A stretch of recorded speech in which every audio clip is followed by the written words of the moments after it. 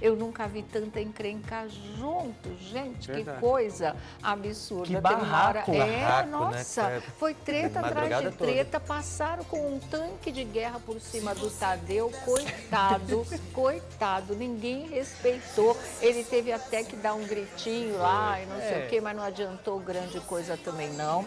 Acho que tem que mudar o regulamento, tem que ter cartão vermelho ali, ó, expulsa do jogo, expulsa e manda Dami entrar e tirar. Perderam a mão, né? Perderam É, a perderam mão a mão. completamente. Esse tipo de coisa não pode acontecer num jogo. Então o regulamento tem que ser mais apertado, mais severo a isso. Se eh, jogo de futebol tem, por que, que um jogo da discórdia não pode ter cartão, Cartão vermelho? vermelho Se não respeita as regras, não respeita a orientação, não respeita o enfoque do jogo, está expulso de campo. Não estou falando que está expulso do reality, mas do jogo vai ser expulso sim, por que não? E se não obedecer, o Dami vai lá e arranca de lá e pronto. É assim que se resolve. Porque estava tão bonitinho, agora o jogo é cronometrado, Isso, né? Tudo sim, direitinho. não passa de- Ó, Uhum. não adiantou nada. Que cronometrado, que um minuto. Eles ficaram horas brigando. Saíram daí do jogo, foram para dentro da casa, brigaram dentro da casa e agora há pouco, tem nem meia hora,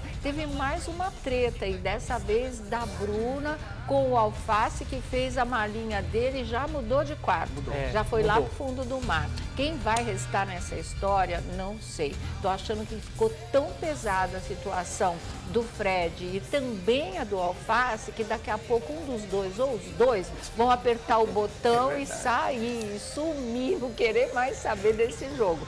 Porque, olha, o Fred, depois de tudo que aconteceu, ele deve estar ultra cancelado. Eu não sei se ele se recupera Eu acho que ele está também. aqui fora. tá. Eu acho que ele está. Tá, se está achando cancelado que tá. não, cancelado ele está mesmo. Já já a gente vai comentar tudo isso com vocês. Vamos comentar o posicionamento da Domitila. Ela tá, olha, mas enfurecida com o Fred.